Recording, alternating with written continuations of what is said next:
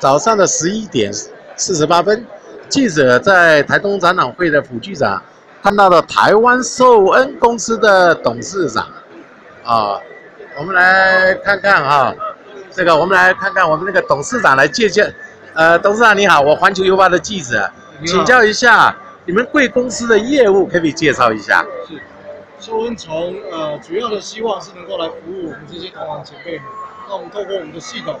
来简化行政管理流程，然后并且把我们一些智慧居家跟在家里所需要的辅具，能够透过这系统一起推广出去。这大概是我们的业务。呃，这贵公司成立大概多久呢？我们成立于二零一四年，到今年是三年多一个月。嗯，那对长照二点零呢，政府的推动方面，你们帮政府在推动什么方面的业务呢？我们从一个民间的单位来说，我们就是要承接政府给我们的政策。那透过他给我们的政策，我们来协助把这些政策里面所希望达到的服务，以及希望服务所触及的对象，能够把这件事情串联好。那我们就站在一个中间点的角色，承接政府的命令，来把我们长辈人们服务的。是，那请介绍你们高雄市有什么据点，跟屏东县有什么据点？我们在高雄呢，自己有日照中心，跟台南也有一个日照中心。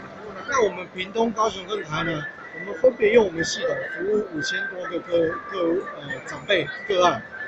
哦，那服务的人是非常多。是。啊，贵公司现在人有多少的人在服务呢？我们公司自己行政单位大概将近五十多个。哦。那服务组大约有二十个。是是，规模也庞大。这些居服单位他们的人数就更多了，将近是三四百。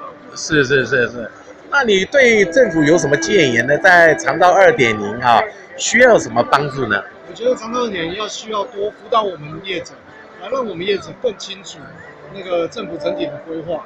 那在这中间中有很多震动期，没关系，我们要需要跟政府有一个很好的沟通管道。啊，也是针对的卫福部的方面啊，卫福部方面要请卫福部要帮忙，是啊，多沟通。好，这一点我会帮你反映。是，好，谢谢你董事长接受。记者的访问，谢谢。